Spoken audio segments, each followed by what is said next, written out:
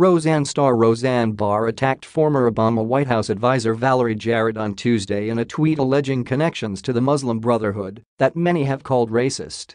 In the tweet, the ABC star attacked Jarrett, who was born in Iran, as a child of the Islamist organization Muslim Brotherhood and the movie Planet of the Apes.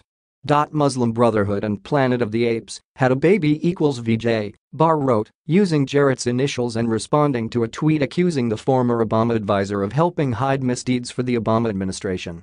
Barr also sent out a number of other tweets Tuesday morning, lashing out at billionaire liberal donor George Soros and former President Clinton's daughter, Chelsea Clinton, whom the comedian linked to a right-wing conspiracy accusing Soros of trying to orchestrate the overthrow of us constitutional republic.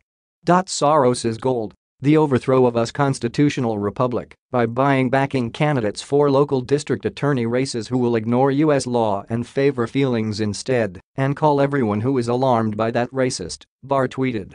Chelsea Soros Clinton, she wrote in an earlier tweet. Right-wing activists have accused Soros, who frequently supports liberal causes, of bankrolling anti-President Trump demonstrations, including at his inauguration.